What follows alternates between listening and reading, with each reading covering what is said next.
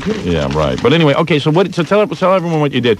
What what Janks did was he called Mark and Brian and said he was in a restaurant in California, Okay. Yeah. and he says, "Hey, I'm in a restaurant right now, guys, and uh, Cher's at a table. I can get her to come on the phone." So Mark and Brian put him on the phone, and he goes, um, "All right, hold on, here they come," and then you pretended to be the publicist.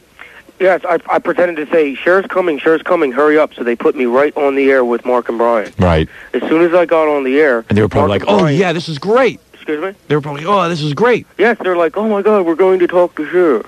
as soon as they put me on the air, Mark and Brian said, what restaurant are you calling from? hmm And I said, I'm calling from the restaurant of Howard Stern, and you guys suck. Now, did it get on the air?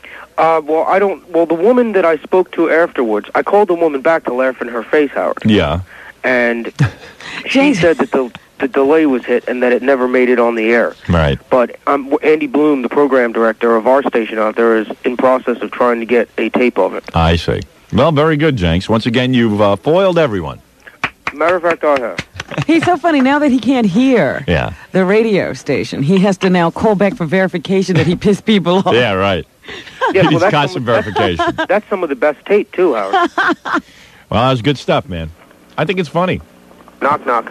All right. Who's All there? right. Thank you. Howard Goodbye. Stern. Here he goes. Howard. He always does that. He's playing back the tapes that he taped last night. God, he's he's brutal. I know he must tape me. Of course he tapes you. He tapes everything. But it's funny stuff. I love phony phone calls.